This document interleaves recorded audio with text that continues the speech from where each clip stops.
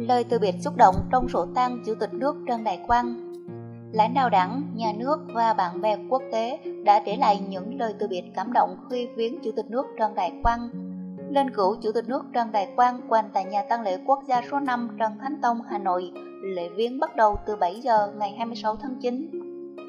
Sáng ngày 26 tháng 9, Tổng Bí thư Nguyễn Phú Trọng làm trưởng ban chấp hành Trung ương Đảng Cộng sản Việt Nam vào viếng Chủ tịch nước Trần Đại Quang ở nhà tang lễ quốc gia số 5 Trần Thánh Tông, Hà Nội. Chủ tịch nước Trần Đại Quang sinh năm 1956, qua đời lúc 10 giờ 5 phút ngày 21 tháng 9 năm 2018 tại Bệnh viện Trung ương Quân đội 108. Sau khi thắp hương, Thủ tướng Nguyễn Xuân Phúc dành thời gian chia sẻ với gia quyến cố Chủ tịch nước đồng chí mất đi là tổn thất đối với đảng, nhà nước, nhân dân ta, để lại niềm tiếc thương vô hạn, không gì bù đắp được đối với gia đình, đồng chí, đồng nghiệp, bạn bè và người thân, Thủ tướng viết trong sổ tang. Chủ tịch Quốc hội Nguyễn Thị Kim Ngân thay mặt đoàn Quốc hội thắp hương viếng theo Ban Bảo vệ chăm sóc sức khỏe cán bộ Trung ương, Chủ tịch nước Trần Đại Quang do mắc bệnh hiểm nghèo, dù được các giáo sư, bác sĩ trong và ngoài nước hết lòng cứu chữa, lãnh đạo đảng, nhà nước hết sức quan tâm tạo điều kiện nhưng không qua khỏi. Quyền Chủ tịch nước Đặng Thị Ngọc Thịnh không giấu được sự nghẹn ngào khi dẫn đầu đoàn viếng Chủ tịch nước Trần Đại Quang. Trong đó, bà có viết bài chia sẻ sự thương nhớ và nhấn mạnh Chủ tịch nước đã để lại những dấu ấn đặc biệt với bạn bè quốc tế và các cơ quan, đơn vị, cá nhân trong nước Phái đoàn Thường trực Việt Nam tại Liên Hợp Quốc tổ chức trọng thể lễ viếng và mở sổ tang từ 24 đến hết ngày 25 tháng 9 giờ địa phương. Các cá nhân, tổ chức, cộng đồng người Việt tại New York, Mỹ, đại diện các phái đoàn ngoại giao ở Liên Hợp Quốc, chính quyền sở tại có thể tới viếng và ghi sổ tang. Sáng ngày 24 tháng 9, Liên Hợp Quốc treo cờ rủ tưởng nhớ cố Chủ tịch Trần Đại Quang. Trước đó, chiều 21 tháng 9, toàn thể Đại hội đồng Liên Hợp Quốc dành một phút mặc niệm chia sẻ đau thương và mất mát của nhân dân Việt Nam. Tại thành phố Hồ Chí Minh, sáng ngày 26 tháng 9, lễ viếng cố Chủ tịch nước Trần Đại Quang diễn ra tại hội trường Thống nhất, đoàn đại biểu Thành ủy, Hội đồng nhân dân, Ủy ban nhân dân, Ủy ban Mặt trận Tổ quốc Việt Nam, thành phố Hồ Chí Minh do Bí thư Thành ủy Nguyễn Thịnh Nhân dẫn đầu vào viếng. Sáng ngày 26 tháng 9, lễ viếng của Chủ tịch nước Trần Đại Quang được tổ chức trang trọng tại nhà tăng lễ quốc gia Hà Nội, nhiều người dân xúc động khi chia sẻ về cố chủ tịch.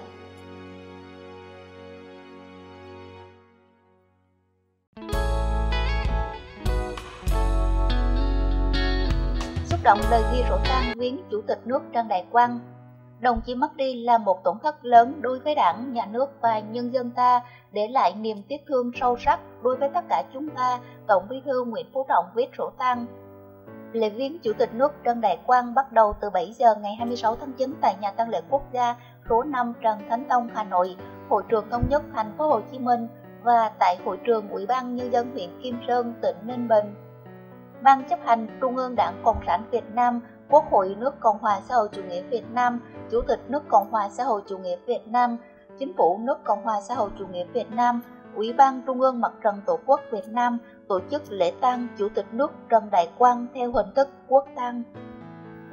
Xúc động ghi vào sổ tang, Tổng Bí thư Nguyễn Phú Trọng viết: vô cùng thương tiếc đồng chí Trần Đại Quang, Ủy viên Bộ Chính trị, Chủ tịch nước Cộng hòa xã hội chủ nghĩa Việt Nam, nhà lãnh đạo đã có nhiều công hiến cho sự nghiệp cách mạng vẻ vang của Đảng, nhà nước và nhân dân ta, nhất là với lực lượng công an nhân dân xây dựng và bảo vệ Tổ quốc Việt Nam xã hội chủ nghĩa đồng chí mất đi là một tổn thất lớn đối với đảng, nhà nước và nhân dân ta, để lại niềm tiếc thương sâu sắc đối với tất cả chúng ta. Xin kính cẩn nghiêng mình trước anh linh đồng chí, xin gửi đến gia quyến lời chia buồn sâu sắc nhất trước nỗi đau thương mất mát vô cùng lớn lao này. Ghi sổ tang Thủ tướng Nguyễn Xuân Phúc viết, trong cuộc đời công tác hơn 40 năm của mình, đồng chí Trần Đại Quang luôn tận tụy trách nhiệm, nỗ lực phấn đấu, vượt qua khó khăn, gian khổ để hoàn thành xuất sắc nhiệm vụ được đảng, nhà nước và nhân dân giao phó. Đồng chí mất đi là một tổn thất lớn đối với đảng, nhà nước và nhân dân ta, để lại niềm tiếc thương vô hạn, không gì bù đắp được đối với gia đình, đồng chí, đồng nghiệp, bạn bè và người thân.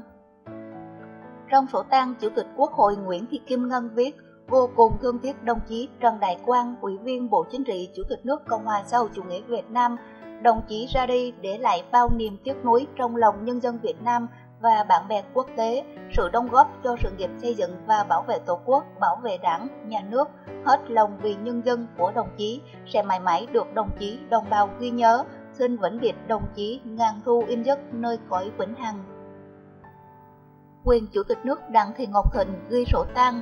Thưa anh, mấy ngày qua cơ quan trong không khí buồn rồi rồi vì sẽ bệnh viện thiếu vắng anh và không thể tin anh ra đi mãi mãi và ra đi thực sự rồi. Phòng ăn trưa hàng ngày anh vẫn ngồi ăn, anh chị em vẫn chuẩn bị cơm tất bữa ăn nhưng vẫn còn nguyên vẹn cùng với những nén nhang thơm nhưng thấy xé lòng anh à.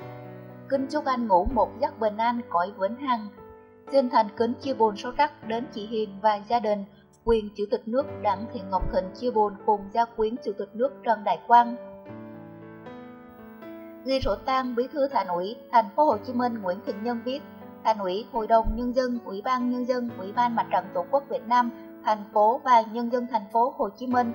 vô cùng thương tiếc vĩnh biệt đồng chí Đại tướng Trần Đại Quang, Ủy viên Bộ Chính trị, Chủ tịch nước Cộng hòa xã hội chủ nghĩa Việt Nam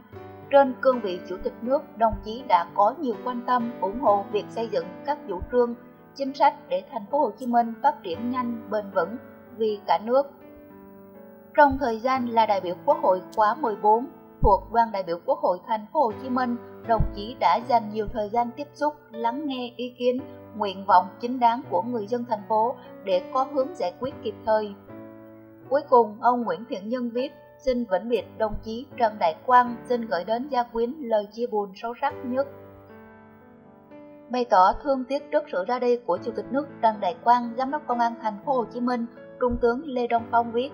Trong thời gian giữ chức Bộ trưởng Bộ Công an, đồng chí là người lãnh đạo bản lĩnh, đầy trách nhiệm, có cuộc sống bình dị, nghĩa tình với đồng chí, đồng đội, gần dân, yêu thương nhân dân, là chủ tịch nước, người đứng đầu một quốc gia, đồng chí là người lãnh đạo tận tâm, tận tình, trách nhiệm, cống hiến đến giây phút cuối cùng của cuộc đời mình cho sự nghiệp cách mạng. Đảng ủy, ban giám đốc và toàn bộ cán bộ chiến sĩ công an thành phố Hồ Chí Minh nguyện noi theo tấm gương sáng hết lòng vì đảng, vì nước, vì dân của đồng chí. Xin kính cẩn nghiêng mình vĩnh biệt đồng chí Trần Đại Quang kính mến.